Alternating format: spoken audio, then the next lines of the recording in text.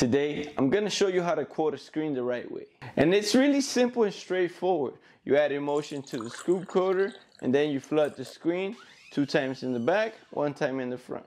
But as beginners, sometimes we overthink stuff and make the simplest things look impossible. But don't worry, because I broke this whole process into five different steps. The equipment you need, the mistakes to prevent before and after coating, the whole process, the cleanup, and the big question. Do you really need a darkroom? Nevertheless, welcome back to our series, Screen Printing from Start to Finish, Part 2. It's about bringing a design to life from scratch. Our first video was about creating the design and prepping the artwork so it could be screen printed. If you want to catch up, I'm going to link the video up here. Now, let's continue with the video. All right, let's start with the equipment.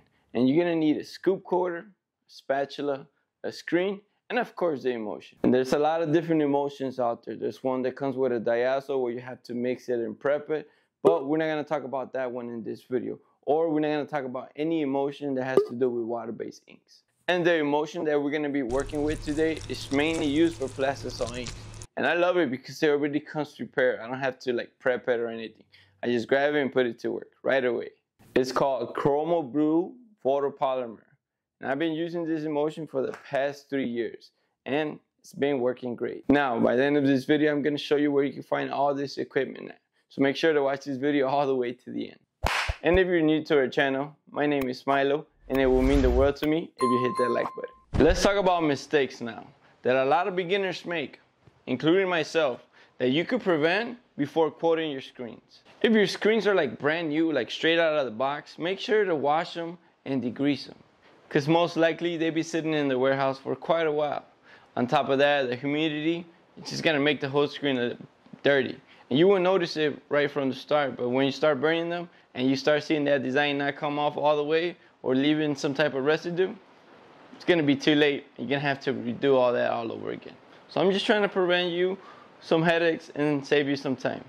After you finish washing your screens, make sure they fully dry. And when they're completely dry, don't let them sit for too long. Try to coat them right away because this mesh right here, it attracts dust. It's like a dust magnet.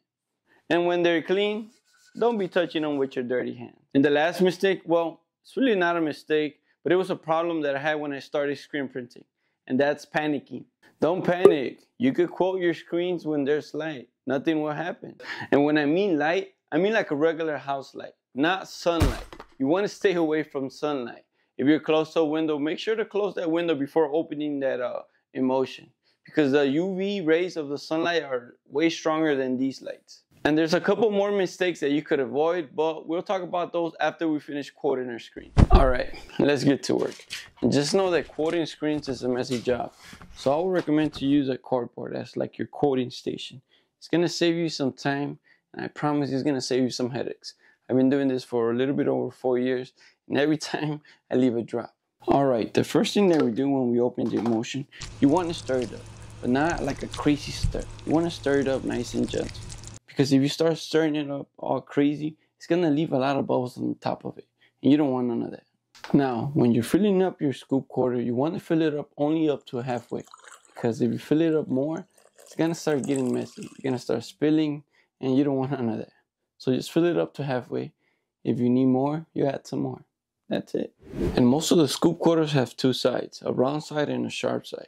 The round side drops a higher deposit of emulsion, and the sharp side drops less. And I'll be honest, I rarely use the round side. I always stick to the sharp side. I have only used it probably like twice in like four years. And before you start um, coating screens, you want to make sure your emulsions is evenly spread around the scoop coater. So you kind of want to balance it around until everything's nice. And we're gonna start in the back. Oh, Always start in the back. We're gonna do two passes in the back and then go to the front. All right, so you grab your scoop coater. you're leaning against the, the mesh, like an inch from the frame. As soon as all the emulsions hits the screen, you flood. Super easy. And then, same thing, flood. Then we come to the front, and we flood. And this is some extra, something extra that I do. Come back to the back and I'll scrape. I'll scrape the extra emulsion and then I finish the scraping in the front. And let's just say, if you leave extra emulsion like on the frame or on the sides, just grab your spatula, scrape this around, kind of even everything out. You know, when you're a beginner, this will happen. So having a spatula is gonna come, gonna come very handy. And if you get tired, you don't want to be on your knees, you can use a, a bucket or a chair, just so you won't be on your knees. Me, I really don't care to get dirty, to be honest. I coated all my screens with two passes, except for this one. I'll explain it to you in the next video, but I'll give you a small hint in the end of this video. Alright, now we're done, and it's time for cleanup. Clean up, clean up. And I didn't want to make this a step, but if you don't clean your scoop coater right away after cleaning your screen, the emulsion is going to dry to the scoop coater, and cleaning it, man, it's going to be a hassle. And of course, make sure to close your emulsion right back up, nice and tight, because you don't want no light or humidity to come in there and mess up with your emulsion. At this here, you want to make sure that the sharp side is super clean because you're going to reuse it again. And that's it. And it's really simple if you do it right away. But if you take forever to clean it, I promise you that you will have problems. The price of the scoop quarters are going up. So take care of your scoop quarters.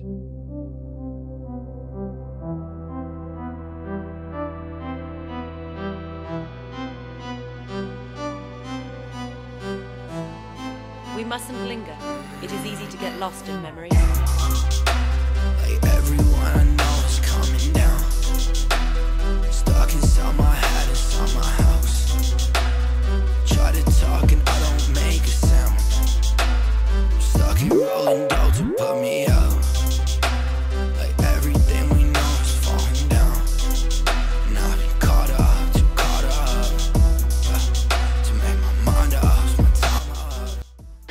I dry my screens flat with the squeegee side facing up, not sideways. And if you didn't know, this is the squeegee side and this is the print side.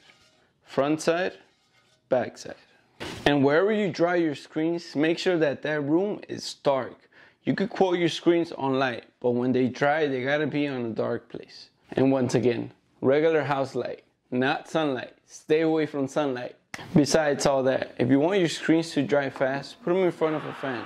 And if you have no rush, then let them sit overnight 12 hours, 16 hours, and they should be completely dry. Now, let's talk about some mistakes that could happen after coating your screens because we're going for a nice glossy glass uh, look whenever you coat the screen. If it looks dark on one side and light on the other, that means that you didn't completely put uh, the same emulsion on the, on the screen. You put more emulsion on the dark side. So what you do, you go back and you scrape the extra emulsion. Or you didn't put enough emulsion on the light side. So you go and you coat it again and then you scrape it again so everything can be nice and even. Another common mistake that I see is that whenever your screen starts to leave like little bubbles, like little drops, it's because it has a lot of emulsion. Whenever you're coating your screens, take that extra step and scrape it. Takes a little bit of extra time, but it's well worth it. Trust me. And just know this, the temperature of the room determines how well the screen is gonna dry. If it's too cold, the emulsion on the screen is gonna freeze. If it's too humid, it won't dry. A lot of screen print shops have a dehumidifier in their shop, well, or wherever they have their screens, just to uh, kind of control the humidity in the room. But I don't because uh, my basement is kind of cool, kind of cool. So I haven't had that problem yet. Maybe if I ever get a shop, I'll definitely have to get one. And here's the big question that a lot of us used to ask, especially me when I was a beginner. Do I need a dark room? The answer is no, no you don't. But will a dark room make things easier? Yes, 100% it will. And if you don't have the money or don't have the space, here's what I did.